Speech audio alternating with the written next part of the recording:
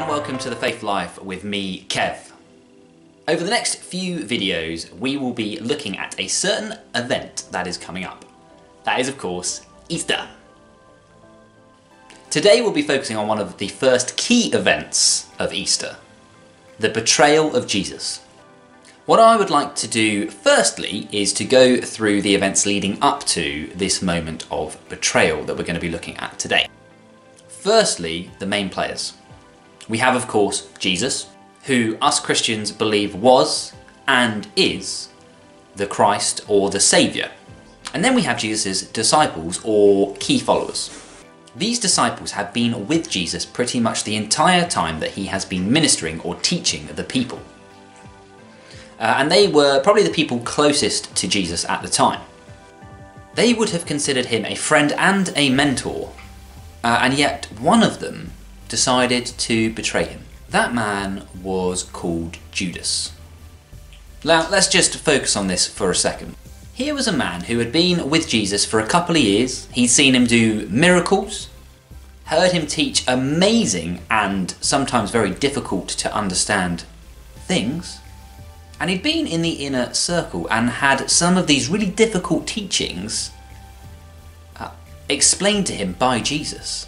And yet, despite all this, he chose to betray him. One of the people closest to Jesus ended up being the very person to betray him so deeply. Let's just jump into the Bible to see exactly what happened.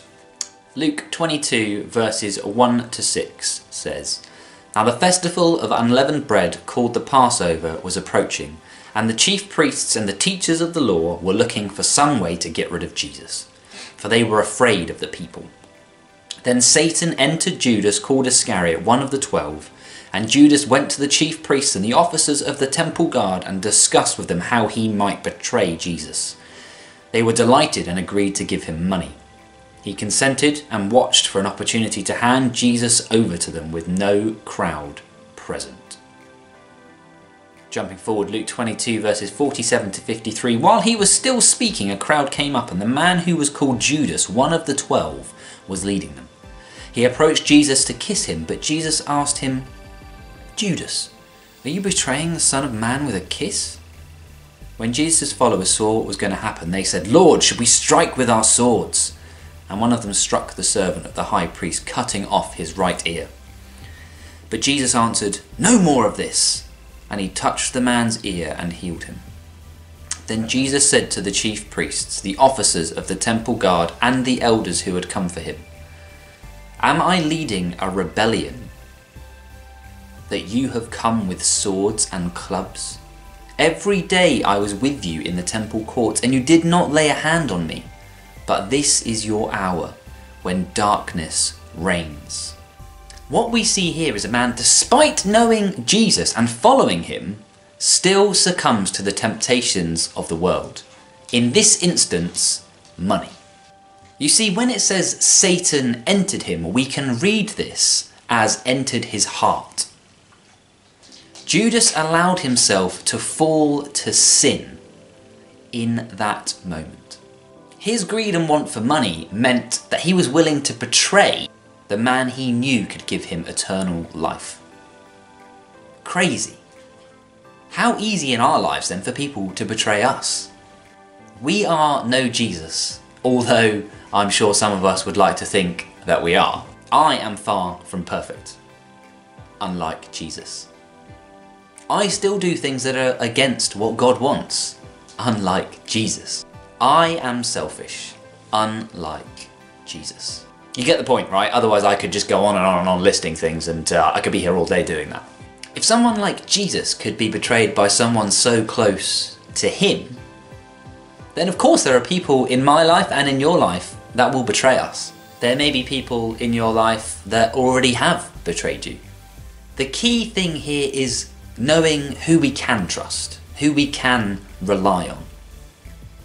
People may let us down, people will let us down, people may already have let us down.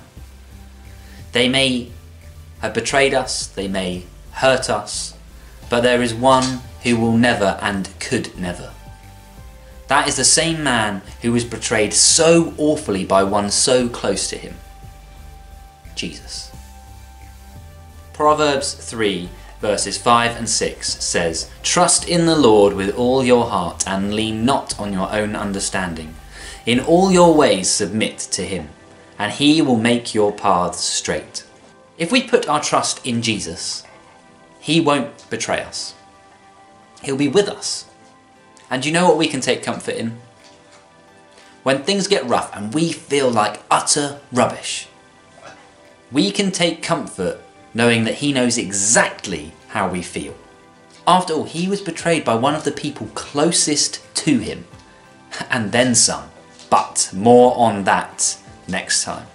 That brings us to the end of today's video. Thank you all for watching and I hope you have found that helpful. Please do use the comment section for any questions that you have or to start up any discussion based on what I've talked about in this video. I would love to chat to you guys about stuff in more detail, so please do use the comment section. If you've enjoyed the video, then please do drop a like and subscribe to the channel for more. You can also drop me a follow over on Instagram and Facebook to stay up to date with the channel, and you'll find the links for those in the description below.